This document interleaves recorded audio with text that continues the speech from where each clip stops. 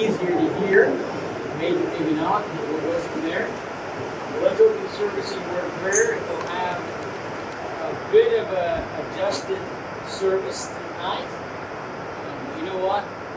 We can still be together. We can still study God's word. We can still sing praise to God.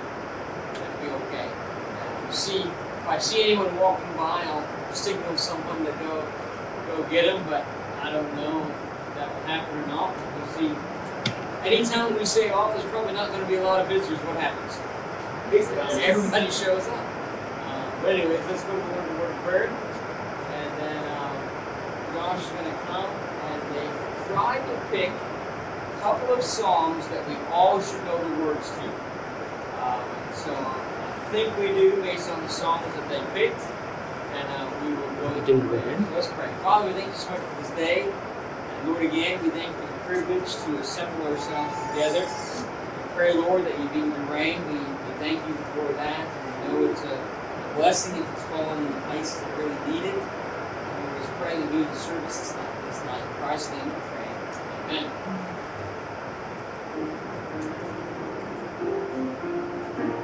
Right, the first song for tonight is God is so good, and we'll just sing the first verse twice to make it easy.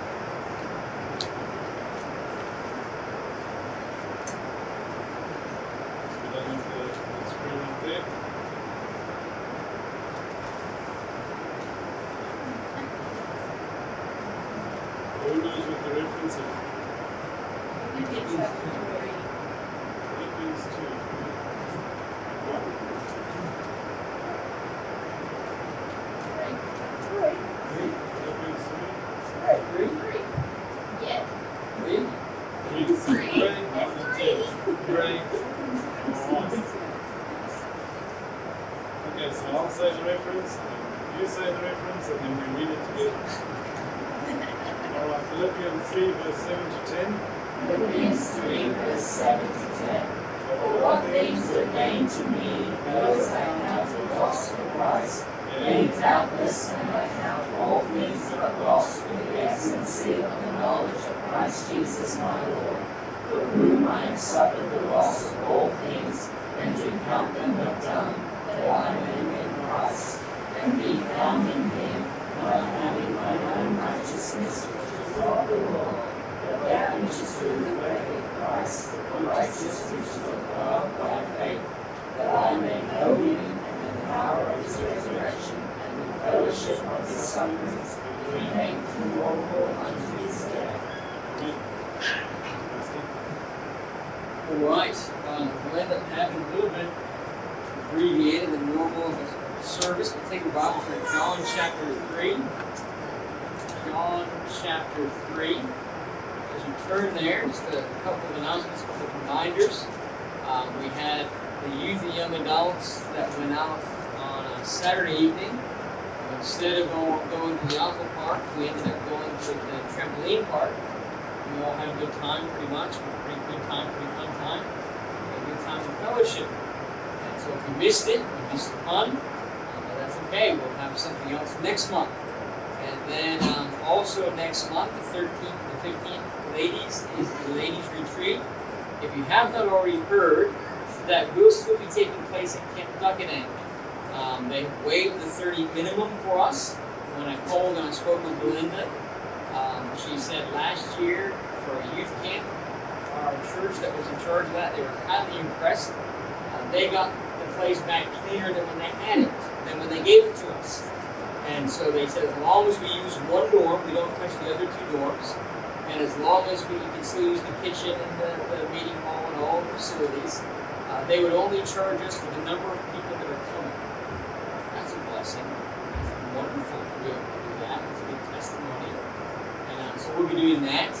Uh, Pete and I will still be coming and doing all the cooking and all that So don't worry about that. Don't like that. And we'll be we'll be doing some different things there. And so that'll still be going. Today we had a phone call from another lady asking if it was too late to come. We said it's the only time it's too late to come is on the 16th of April. Right? Then it's too late to come. And so she said, Well, can you help me get a ride? Can help me get a ride? And so she's going to be coming. So we're still, it's still open. There's still going to be some more ladies coming. So make your plans. If you haven't already made your plan to be there, to be there. If you can't be there the whole time, it's about an hour, 20 minute drive. It's not that bad. It's a really pretty drive. Uh, you'll enjoy it. And so I would challenge you if you want to come up, come on up on Wednesday. Uh, come up Wednesday morning, uh, spend the day, and then sometime Wednesday afternoon, early Wednesday evening, drive back. That's okay. Um, you can do that. Come on up. Let us let, let my wife know that you're coming. Because if you are coming just for the day, that means we need to have food for you. Right? And so that we need to have food for you.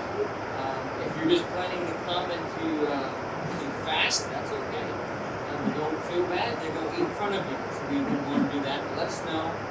We'll be glad to make any accommodation we can for you. So those are just some things that will be coming up. And men, don't worry about it. Still in September. We're still having the men's camp. It's still Tuesday through Saturday like it was last year. More details will be coming out about that in the near future.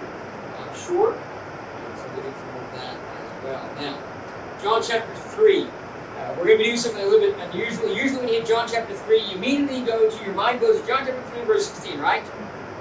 Tonight, we're stopping at verse 15. Going all up to verse 15. Where you think we should keep going, we're just going to stop. You say, why? Because we can. Um, and because we're just going to cover the first 15 verses uh, this evening. So, John chapter 3. And we're going to ask a question that basically Nicodemus asked. And that is, what must I do to have eternal life? What do I have to do? What is eternal life? But also this evening, as we look at this, before we get into answering the question as Jesus answered it and tracing some things through Scripture, I want to give you three things to think about before we answer the question. Three principles that we can learn from this encounter with Nicodemus, and then we'll answer the question about that. All right? So, John chapter 3, verse 1, it says, And there was a man of the Pharisees named Nicodemus, a ruler of the Jews. The same came to Jesus by night and said unto him, Rabbi, we know thou art a teacher come from God. No man can do these miracles that thou doest except God be with him. Jesus answered and said unto him, Verily, verily, I say unto thee, except a man be born again, he cannot see the kingdom of God. Nicodemus saith unto him, How can a man be born when he is old? He enter in the second time into his mother's womb and be born? Jesus answered, Verily, verily, I say unto thee, except a man be born of water and of the Spirit, he cannot enter into the kingdom of God. That that which is born of the flesh is flesh, and that which is born of the Spirit is spirit. Marvel not that I said unto thee, Ye must be born again. The wind bloweth where it listeth, and thou hearest the sound thereof, canst not tell whence it cometh, and whither it goeth. So is everyone that is born of the Spirit. Nicodemus answered and said unto him, How can these things be? And said unto him, Art thou a master of Israel, and knowest not these things? Verily, verily, I say unto thee, we speak that we that we do know, and testify that we have seen, and ye receive not our witness. If I had told you earthly things, ye, and ye believe not, how shall ye believe if I tell you of heavenly things? No man hath ascended unto heaven, but he that hath, that cameth down from heaven, even the Son of Man, which is in heaven. And as Moses lifted up the serpent in the wilderness, even so must the Son of Man be lifted up. Whosoever believeth in him should not perish, but have eternal life. Now, this phrase, born again Christian, we use that all the time. But what does it even mean? I mean, we, we talk about that, oh, you have to be born again. And then, we, we kind of laugh when we read, I don't know about you, but have you ever laughed when you read Nicodemus like, well, can someone when they're old go back into their mother's womb and be born again? Have you ever talked to an unsaved person who has no Bible background? And they say, What are you trying to tell me? Oh, I'm trying to tell you how to be born again. I guarantee you they have the same reaction Nicodemus has. What are you talking about? How can I be born again? Like, wouldn't I mean, if it's not painful enough to give birth to a baby, poor mom wants to give birth to a full grown adult. That's not be nice, is it? Oh, but mom's looking at me going, don't even go there. I'm Like, uh-uh, not happening. Right? So here we have this. Now, as we begin to look at this passage of Scripture, we find Nicodemus. We find a very unusual man in Nicodemus because the Bible is very clear that he was a Pharisee, correct? Now, a religious leader among the people coming to Jesus at night to ask him some questions. Now, right off, I believe there are several items we can learn from this encounter between Jesus and Nicodemus. Alright, so I'm going to give you some lessons we can learn, and then we're going to answer the question about the whole being born again thing. Lesson number one we must learn the importance of taking time to think. I know that can be a dirty word, and I know that can be a difficult thing. But we have to learn the importance of taking time to think. You know what? If there is something the devil has gotten good at, it is making us so busy that we seldom take the time to think. To really think about important things. I mean, we have families to take care of, that's not a bad thing. And by the way, some of these things I'm going to tell you that we're so wrapped up and so busy with aren't bad.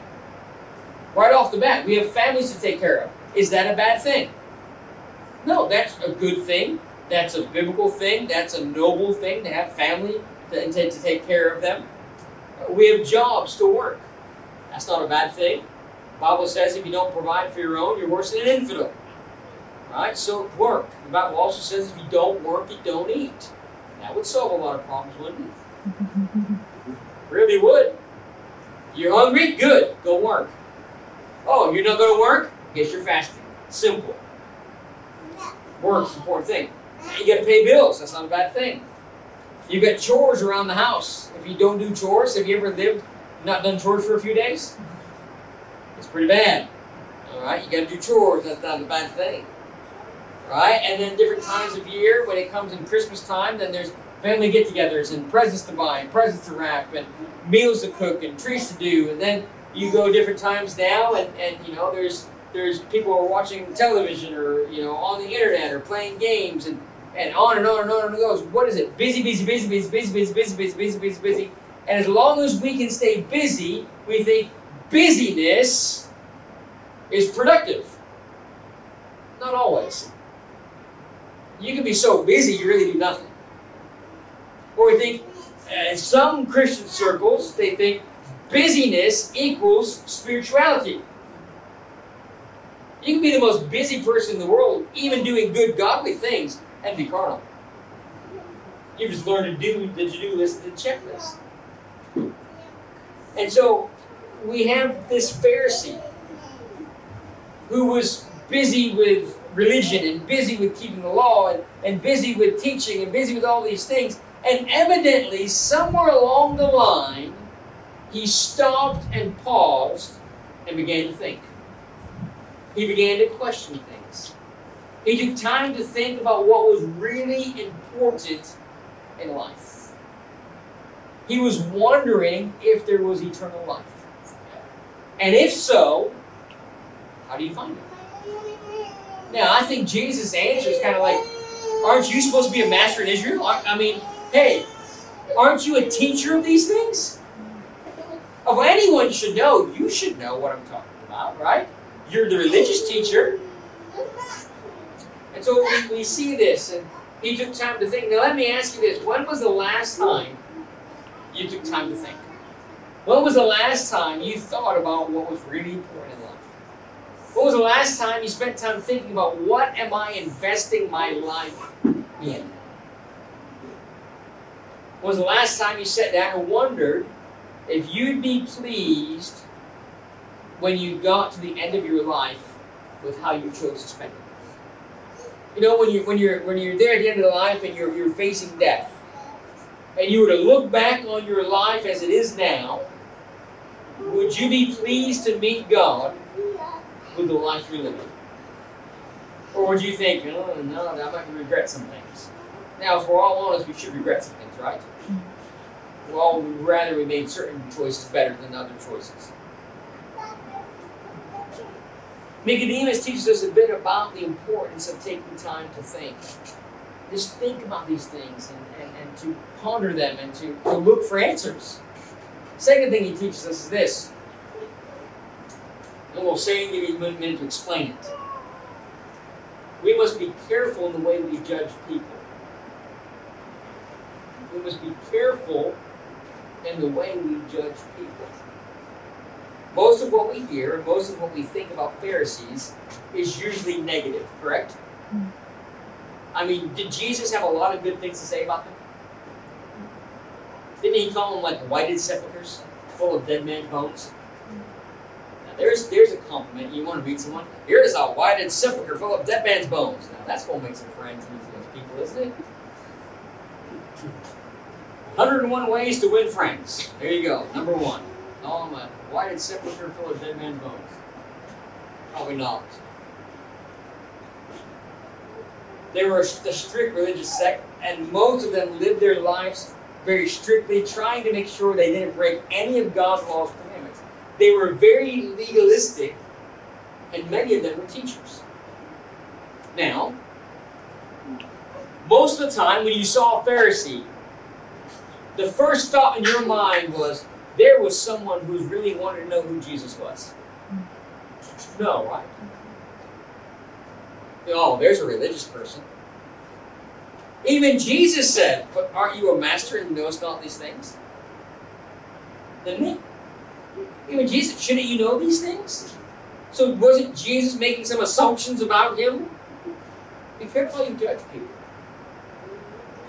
Sometimes the people you look at and you make a snap judgment of, oh, they won't, they're not really thinking about God. You'd be shocked. You really would. I've seen a number of people, you know, walk into a church and full of tattoos and all these piercings and all that type of stuff, and, and people are like, oh, why are they in church? Maybe they're the ones actually thinking.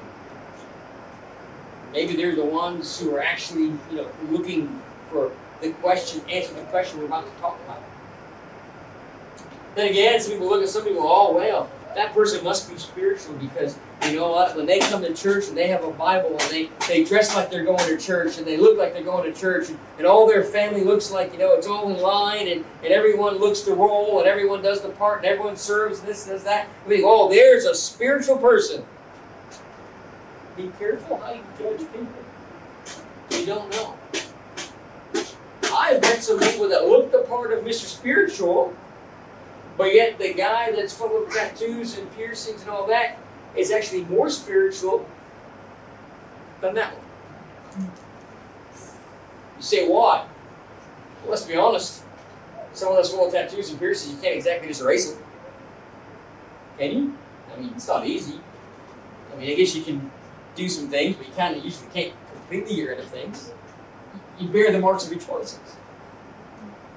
And if most people were to look at Nicodemus, most people are going, oh, Pharisee, he really doesn't care about the things of God. He's just a religious, legal nut. And they would just write him off. But who was it that was coming to Jesus that really, really wanted to know? Master, he knew some things. Master, thou art a king except for God. Right? It's, I don't have eternal life. Like, this is troubling me. This is bothering me. Most of the people in his day, most of the disciples of his day, would have looked at a Pharisee and gone, Don't waste your time. Be careful. Be careful how you judge people. I learned that a lot of times, and um, just dealing with my father, dealing with when I when I was at university one year before I got married, um, I shared my testimony, and someone came up to me and said, "You need to be in the prison ministry." And I thought, "Okay, I'll be in the prison ministry." And I went into the prisons, and uh, they they they heard my testimony like, "Oh, we've got the perfect pod for you where we're going to stick you." I was like, "Oh boy, where are you going to stick me?" They're like, "Maximum security." wonderful. This is great. And I'll never forget going in there and you look at those guys and, and have you ever looked at a crowd and judged it right away? Mm-hmm. Yeah, these guys are rough. I mean, some of the guys they came to church because it was the only time they could get out of their pod and they could get in there. And they they were they were rough looking. And I'll never forget one day I was all by myself. I was the only one who showed up in, in my group. And literally, the way it was, it was set up a bit like this room. And say that was a door in the back, and then that was a door over there in the side. And uh, you would come in, and before you came in, you would have to be searched, and uh, you'd have to make sure you didn't have any paper clips, and you have to make sure you didn't have any staples. If you brought handouts to give the, the men, they couldn't have any staples or paper clips in them. You don't believe me? You don't want? You want to know why? You should watch a video of what kind of weapons they can make with staples and paper clips in prison. And you say, how do you know that? They made you watch that video before you were approved to go into prison. It's shocking, but not surprising. I knew my father. Um, and so none of that surprised me. And these were big guys, rough guys, in there for murder, in there for all kinds of things. And uh, one day, we, when I was all by myself, I came in there. And the way they do it is you, you, they open this door, and you walk into this hallway. And then they shut the door so it's sealed. Then they open that door and they let you into the room where church service is going to be. And then when you get into the room and you're at the front of the room where the podium is, you stand in the center of the room and you wave. And when you wave, the security guy sees that you wave, that door closes and you hear clink, clink, clink, clink, clink. And at that moment, you know you're locked in. You cannot just open the door and get out. And then you hear it and that door over there on the side opens. And when it opens, it opens straight out into the cell block where all the prisoners are, in the big open court. And then one by one, they begin to file in and fill the seats. And fill the seats. Mind you, I'm, remember, I'm standing here. They're filling the seats where you are. And then, um, you know, I, I was sitting go, is that everybody? If no one else came, I would wave my hand again. That door would close, and you would hear the noises again, and that would lock. And at this particular day, it was me and about 40 maximum security prisoners were all locked together in this room. The only way out was through them and through that locked door, and they were not unlocking it as long as those 40 guys were there. It was not happening. And I'll never forget that day in the back, there was a new guy, and I thought, oh, he's in trouble. Ever look at someone and think, oh, there's going to be trouble? I was wrong. It was Muslim. He came there to pick some things. And he, I didn't realize it, but he brought about five guys with him in the middle of the service. And they began to pick some things and pick some fights. And literally, an all-out brawl broke out in the middle of church. I mean, literally. And I'm sitting there, and if that happens, you're supposed to wait. Now think about this. 40 guys, big guys, all where you're sitting between me and that window. I can wave all I want. They ain't seeing me. It ain't happening. You see, what did you do? I didn't know what to do. I just prayed. And next thing you know, the entire front row of men stood up, formed a wall around me, and dared them to go through them to get to me. And then this entire wall begins going like this. And next thing you know, this door opens and in rushes like these officers. And they break up the fight and they grab the guys and they throw them back into their cells and lock them up, you know. And then they, they shut the door and they didn't lock the door, they shut the door. And then they came back in and said, uh, everything else okay in here? And I said, it's okay. And they said, uh, would you like to continue with church? I said, fellas, you want to continue with church? They- Literally, here's what they said. I got nowhere else to go. I said, okay. You got nowhere else to go. So they all sat back down and we had church. He said, after a ball, after a ball. You know what? That day, at least three sat across the. You look at people and you think one thing. It's completely different. People. You know what I knew? I knew, I mean, I knew that God would be in control and God would take care of it. But here's what I learned that day. I looked at these guys and I thought, I wonder what would. In the back of your mind, when you get locked in there with maximum security prison, you think, I wonder what would happen when they get mad we're all breaks. You know what I knew? The first person they would protect is whoever came in. I was shocked. I really was. You judge a crowd. Well, a little while later, I was I was uh, at a local grocery store and I had stopped on the way home from work, and this was after I got married.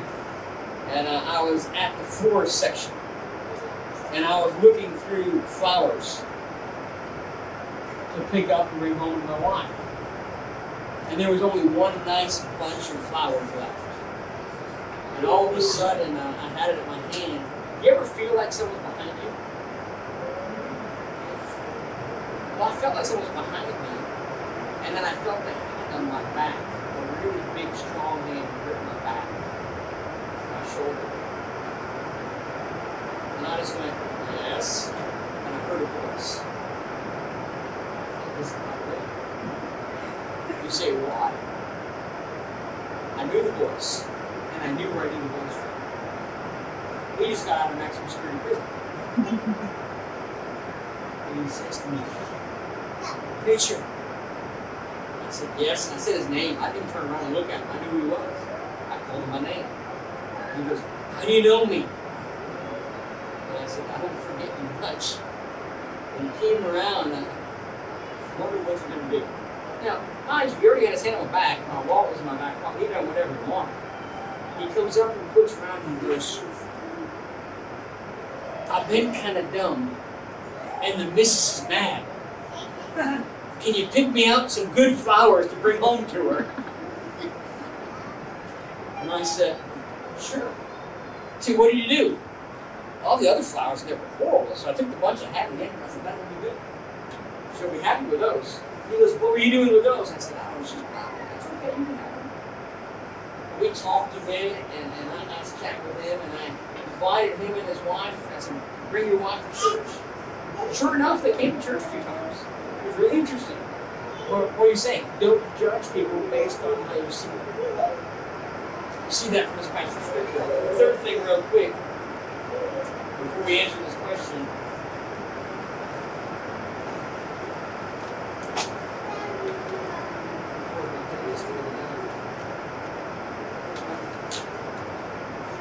Alright?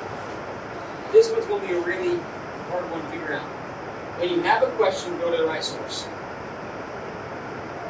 When you have a question, go to the right source. Nicodemus thought. He didn't care what people thought of him. He didn't care how people would judge him. He went to the right source. You want to know about eternal life? Go to Jesus. Go to him. You know what?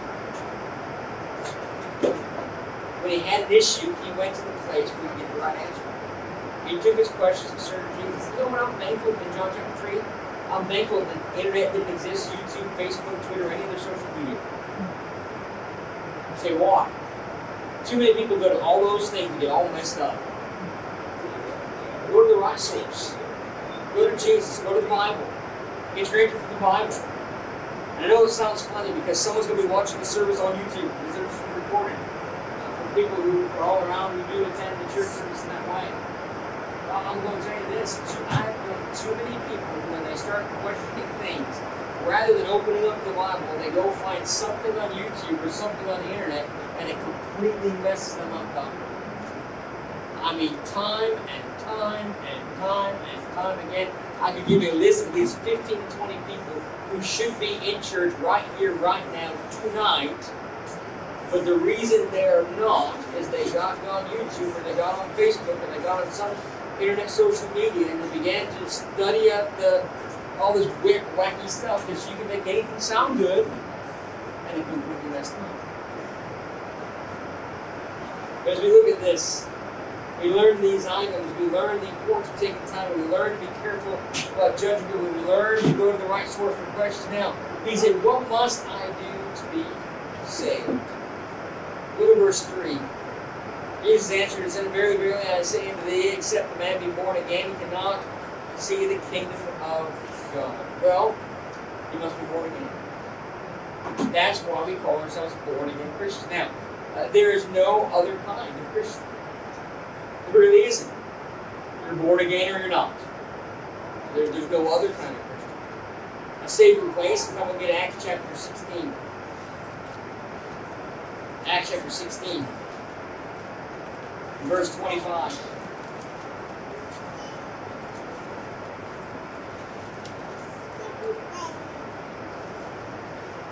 As in at midnight, Paul and Silas prayed and sang praises unto God, and the prisoners heard them. And suddenly there was a great earthquake, so that the foundations of the prison were shaken. Immediately all the doors were opened, and everyone's bands were loosed. And the keeper of the prison, awaking out of his sleep and seeing the prison doors open, he drew out his sword and would have killed himself, supposing the prisoners have, has been fled. But Paul cried with a loud voice, saying, Do thyself no harm, for we all are for we are all here. Then he called for a light and sprang in and came trembling and fell down before Paul and Silas and brought them out and said, Sirs, what must I do to be saved? They said, Believe on the Lord Jesus Christ, and thou shalt be saved in thy house. And spake unto him the words of the Lord, and to all that were in his house. And when he took them the same hour of the night, and washed their stripes, and was baptized, he and all his straightway. And when he had brought them into his house, he set meat before them, and rejoiced, believing in God and all his house. When it was day, the magistrate sent the sergeant, saying, Let those men go. What does this passage say he must do to have eternal life? Believe on the Lord Jesus Christ. What else? Just believe in the Lord Jesus Christ and put all your faith and all your hope in Him. Seems pretty simple, right? Now, we're going to walk through something a little bit more, but please don't go at me. Let, let's walk through with me, okay? And we'll get to the end, you'll see we're probably coming the same way. Now, think about in Matthew chapter 16. Matthew chapter 16. So, oh, you know, okay, you have the right question, you got to believe the Lord Jesus Christ. Yep, Matthew 16, verse 24.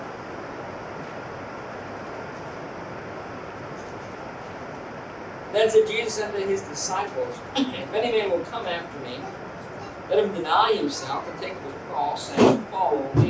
Understand there's a difference between following Christ this way and salvation, right? I mean, we, we learn certainly be saved, but truly, if you're saved, you should take it seriously. Right? So, what did Jesus tell us to do in this verse? Well, he says, deny yourself, take up cross, and to follow him. As a matter of fact, he says basically the same thing in Matthew 10 38, Matthew 8, and Mark 8 34, Luke 9 23, and Luke 14 27. Repeatedly, he says that. Right? Now turn me in Matthew chapter 19. Let's go a couple chapters up, Matthew chapter uh, 19. And let's look at verse 16 to verse 21. And behold, one came and said unto him, Good master, what good thing shall I do that I may have eternal life? Do you understand? Multiple people asked Jesus about eternal life. And his answers are a bit different with every person. We see consistently that one, he said, take up your cross and not follow me. But a little bit different. Now, here's where we got to understand. Jesus knows the heart issues, we don't.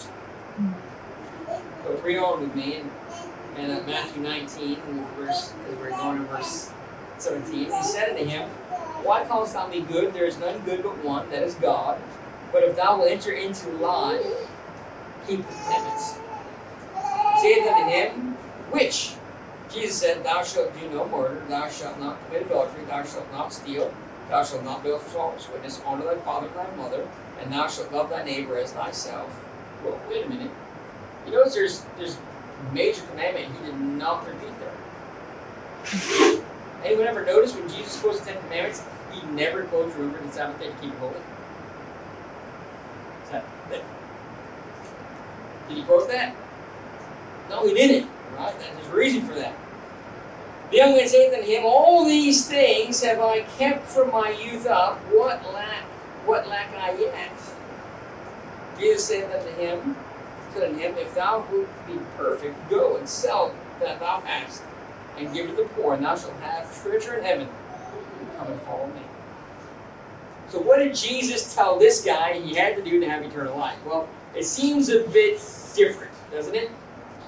He tells him to sell all you have and follow him.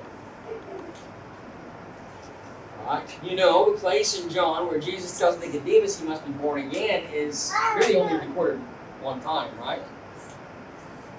This event, where Jesus tells this rich young ruler to sell all that he has and to follow him, it's recorded in Mark 19, I mean Matthew 19, Mark 10, and Luke 18. Then, in uh, take your Bible look at uh, Luke chapter 12 and verse 20, and verse 33.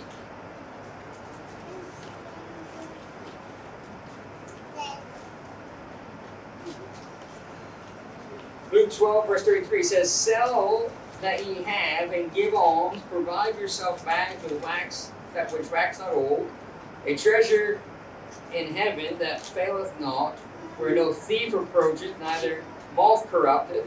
For where your treasure is, there will your heart be also. Now, we refer to ourselves, and when we look at this, and we, we refer to ourselves as born again Christians, why is it that we don't refer to ourselves as self denying Christians? Why don't we refer to ourselves as cross carrying Christians? Why don't we refer to ourselves as possession selling Christians? Could it be that those things are too difficult? Don't really want to give them up? And if we claim to be those things, that people could measure the accuracy of our claims by our actions. Hey, if you claim to be a self denying Christian, I can measure that by how much you deny yourself and how much you put others first. Yes or no? If you claim to be a cross bearing Christian, I can kind of gather how much you bear your cross. Yes or no?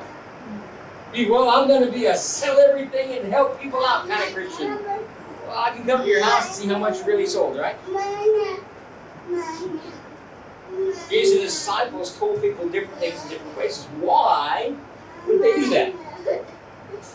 Is it because what people had in their lives that they considered more important than God, or is it things in their lives that they were counting on for salvation?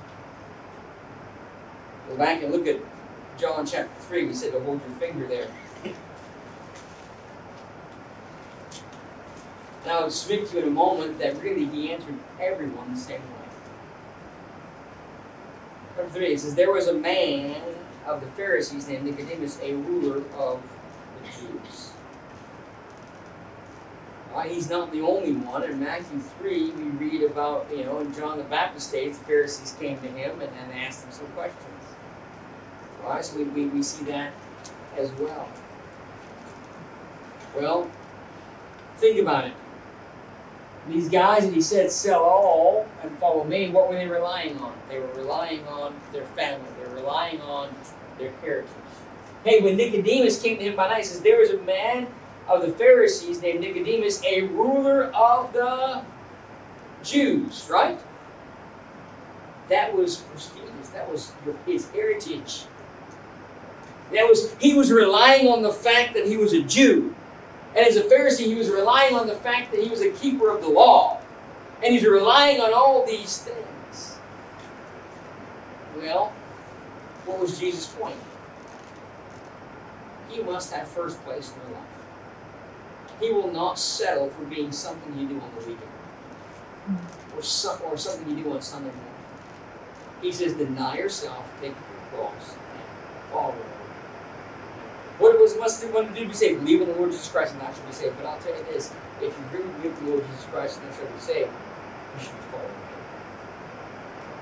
He, in all things, he should have the preeminence. So why did he say to the rich young ruler, "Sell all you have and follow me"? Because he knew what he was trusting in. Why did he say to this this person who was a Jew of the Jews, that was born and a ruler of the Jews, that he had to be born again?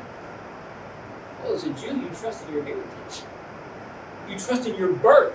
You know what he's saying? What you're trusting in in your first birth doesn't matter. You need a second birth. The, the, the, the ones who had all these different things and all the times that Jesus told them, he was telling them all the same thing. Whatever you're relying in doesn't work. You must come through me and only through me. As we know that God wants you to have know Him and have eternal life. We, we know that sin is a problem and it separates us from God. We know that God's remedy for sin is Christ dying on the cross and, and His death and buried resurrection. And we know that there, your response needs to be to personally accept and trust Christ as your personal Savior. So, going back to Jesus' discussion with Nicodemus. You must be born again. Good people need a new birth. Religious people need a new birth. Church going people need a new birth. They really do. We must be born in the Spirit. How do we do that? We have to do it like Nicodemus did. Hey, Nicodemus admitted he had a need. That's what we have to do. He had to come to Jesus personally. And we have to do. And he had to place his trust in Christ and Christ alone. And guess what? That's what you have to do. That's what I have to do. So how do we know that Nicodemus really did get saved and really did put his faith and trust in Christ and was really born again? Can I ask you something? Who was the one who, after Jesus' death, went. And there's two people that went for Jesus' body to bury him. Who were they? Joseph of Arimathea, and who was the second one? Hey, you know what? He got to the point where he said, you know what? I am going to deny myself, take up my cross, and I will follow you. Can you imagine a Pharisee going to the ruler saying, Can I have Jesus' body so I can believe? He was identifying himself with Christ. You want a death knell in your career as a Pharisee? There it was. There it was. But it all started all the way back when he went and sat down with Jesus and came to him personally after spending time thinking, after not judging people, and after going to the right source. And all throughout the Bible, people can just, I have eternal life? And the same thing in different ways was said to you cannot trust in your way. You must have eternal life. Come to God through me. It's the same. Father, we come before you. And Lord, thank you so much for the challenge from the life of Nicodemus. And I pray that as we look at this, may we learn some lessons from it, Lord. May we not judge people based on what we may see or think about them, Lord, but Lord, may we point people to you. Lord, I know it's one thing to, to be born again Christian, but Lord, may we also be uh, self denying Christians, and may we also be Christians who uh, take up our crosses and follow you and, and live for you each and every day. Lord, may we, as Nicodemus did, have we change our lives. May we take stands for you and be, we identify with you very clearly, no matter what it may cost. Lord, we follow you with all we have. We pray. Well, thank you for coming out this evening. If I can be helped in any way, let me know. Um, I think a lot of next door is already packed up. So all I think that we need to do is there are photos of this room, so we got to put this room back together again. And we'll pack up in here, and we'll be ready to go. So we look forward to seeing you Wednesday night, seven o'clock. If you don't normally attend and you'd like to, let me know. I'll get you the Zoom link. You can jump on in and join us on Wednesday night as we pray together. Do continue to be in prayer um, for Sister Rose. Um, from what I was told this morning, when they looked at where they got it, they I don't think they were able to get the entire tumor. Uh, there was part of it back where they couldn't reach, and so I believe Tuesday she has another MRI of some, some type to be able to look and to make sure that they got enough of it where it's not affecting the nerve and, and all these different things. And then they've got to make decisions of whether they actually physically have to open her up to go in and take the rest out, or whether if it's not cancerous and not bothering and affecting her, whether they just leave it there and all those type of things that have to be done. So just be in prayer this week as those tests are done and as those decisions are made. Um, she's doing well now. Just be, be in prayer. Um, I know talking to her, she was glad that they could do the surgery this way and didn't have to kind of head open. I think we'd all be glad with that, wouldn't we? Um, but then they have to go through this and still maybe have to have the other surgery is not the best. And do be praying for Brother Lamba. Um, he had his biopsy and brain lesion on, I want to say Thursday. And so this week coming, he should get the results of that, and that will determine whether or not he needs um, surgery on his brain as well. And so they say when it rains, it pours, right? Um, but you know what? Let's just be in prayer for our church family. Let's be there, love on them, and do what we can for them, help however we can. Alright, so Laroon was see, was it?